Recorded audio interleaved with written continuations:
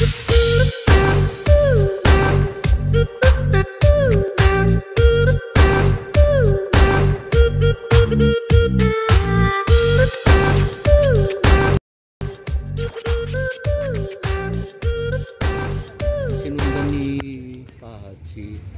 ay ang sinundan namatay si si Abdullah. Tapos yun na si Salman.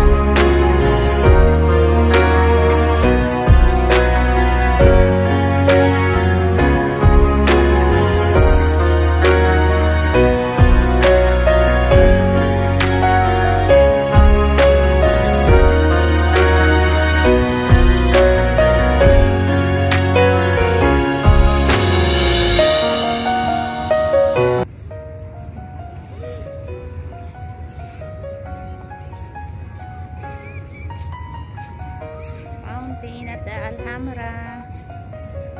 Highest fountain in the world.